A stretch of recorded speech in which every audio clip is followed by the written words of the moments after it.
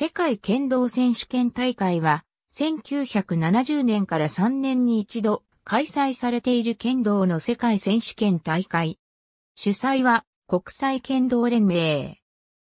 1970年に設立された国際剣道連盟によって1970年以来3年に一度アジア、アメリカ、ヨーロッパの持ち回りで開催されている。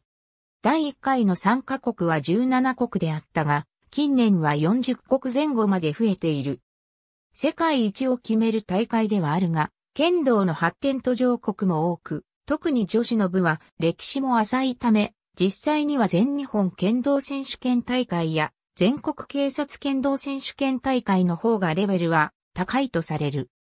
日本人が移民したアメリカ、ブラジルや日本の統治下にあった韓国、台湾等、第二次世界大戦以前から剣道が普及している国と戦後から剣道を始めた国との格差は大きい。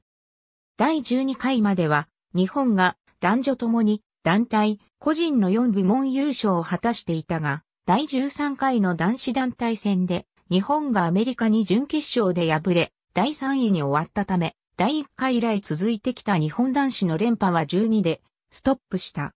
男子個人では、現在も日本人選手が連覇を続けている。外国人審判員のレベルの低さが指摘されることがある。国際剣道連盟は審判講習会を開き、受講を義務付けている。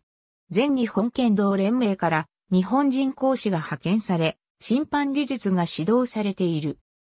2015年の世界剣道大会では、韓国側の観客から判定を不服とするブーイング、等の日本の剣道界ではタブーとされる行為があり、2018年の世界剣道大会では、韓国が審判員が日本に有利な判定をしているとして、ビデオ判定システムの導入を求めている。ありがとうございます。